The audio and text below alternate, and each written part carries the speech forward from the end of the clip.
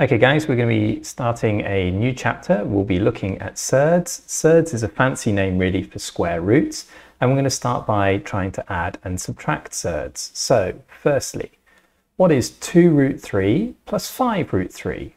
Well, we've got two lots of the root 3 and five lots of the root 3. So if we add those up, we're going to have seven lots of root 3. If you like, this is really the same problem as saying if I have two apples plus five apples, how many apples do I have? Well, I'd have seven apples, right? Or if you want to think about it algebraically, this is two lots of x plus five lots of x would be seven lots of x. Okay, so here we've got two lots of root 3 plus five lots of root 3 for a total of 7 root 3. Okay, so let's just practice that. 5 root 2 plus 3 root 2 would be 8 root 2.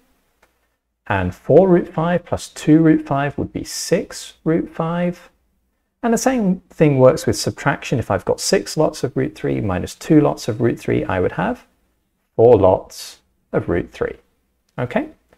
All right.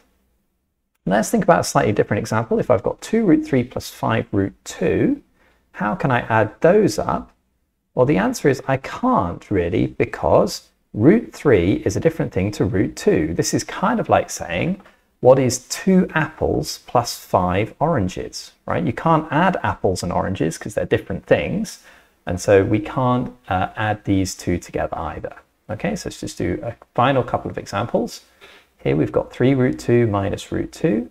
Well, this is the same type of thing, isn't it, right? So 3 root 2 minus 1 root 2 will be 2 root 2. And over here, for b, if we've got 4 root 5 plus 3 root 2, well, these are different, aren't they? Root 5 is different to root 2, so we can't simplify this. This is just the same as 5 root 5 plus 3 root 2. Okay?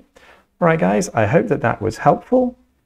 Uh, follow along with the next videos to learn more about surds. Bye.